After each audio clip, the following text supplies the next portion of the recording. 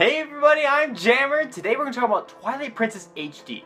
Now some news just came out with the Famitsu leaks and Nintendo actually just announced it themselves about the amiibo functionality in the new game.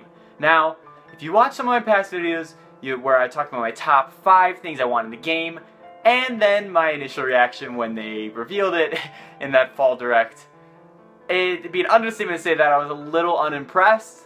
But anyways, I'd like to talk about this amiibo function because I know a lot of people have been saying this is ridiculous, it shouldn't be locked behind a figure, blah blah blah. And I just kind of want to talk about it because honestly, I actually think this amiibo functionality isn't isn't that awful. The big debate with amiibo functionality is for right now is they games you either use it too little or the fear is they're going to use it too much. And a lot of people they're in, this game is in that category. When in all reality, I don't think that's actually the case. If you haven't heard what the functionality is, you can use all the Zelda amiibo. For example, Link and Toon Link, they'll replenish your arrows. Zelda and Sheik, they can replenish hearts. I believe it's full, but that was just what the trailer showed. It might not be actually completely full. We'll have to see once they further disclose it those four set of four can only be used once per day. Then the Ganondorf amiibo, he can you can scan as many times as you want, and he basically enacts like another hero mode. Now there's the rumor from Amazon France saying that there already is a hero mode in the game where you take double damage, but Ganondorf over here will change the heart bar to blue, and basically you again take two times on top of that. So potentially with Hero Mode and the Ganondorf Amiibo, you could do times four and it'd be a really awesome and challenging game and that'd be, I'm definitely playing as that the whole way through if that's the case. Now the interesting part is when they uh, disclose how the Wolf Link Amiibo works. Now Amazon France did again talk a, little bit about this place called Twilight Cave, how the Amiibo sort of unlocks this area that's a new dungeon. So the official name for this place is the Cave of Shadows. It's gonna be a, like this dungeon where there's rooms, we're gonna take out like hordes of enemies as Wolf Link.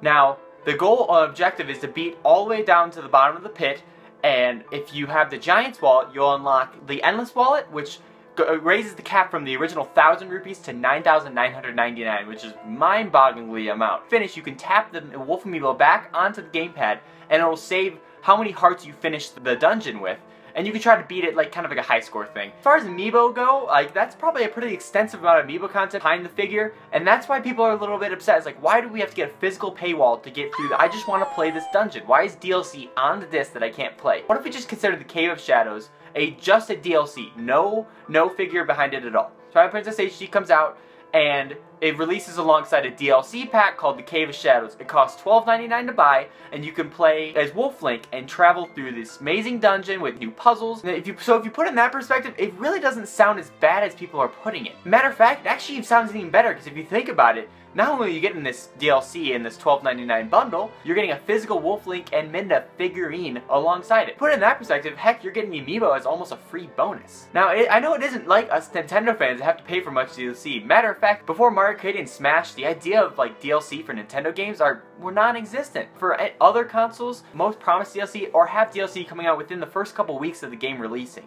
And those price walls are much higher than the $12.99, plus you're still not getting a physical figurine. It's kind of freaking people out, and it really shouldn't be. Think about it that way. This is actually pretty sweet. We're getting brand new content for a really old game. Now for me personally, I don't know if it's going to push me over the edge to buy it just yet. It still really hurts looking at the game, and when I see comparison videos online, I still can't tell a difference that well. I can't. I'm sorry. I really, I, I can see that, yes, the line textures are cleaned up a little bit. It's a little bit brighter, but it's not the graphic overhaul I was hoping for.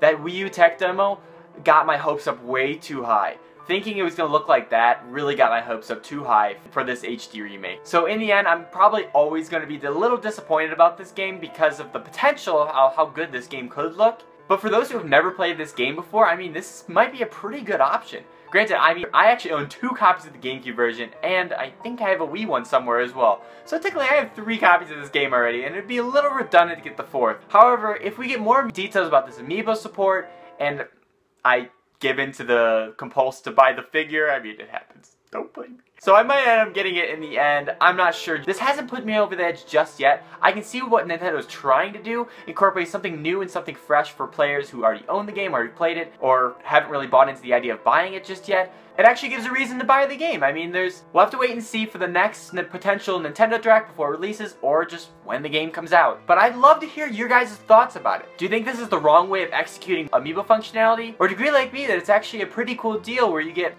the technical freebie of physical figurine? Let me know in the comments below. As always, give this big, big, awesome like.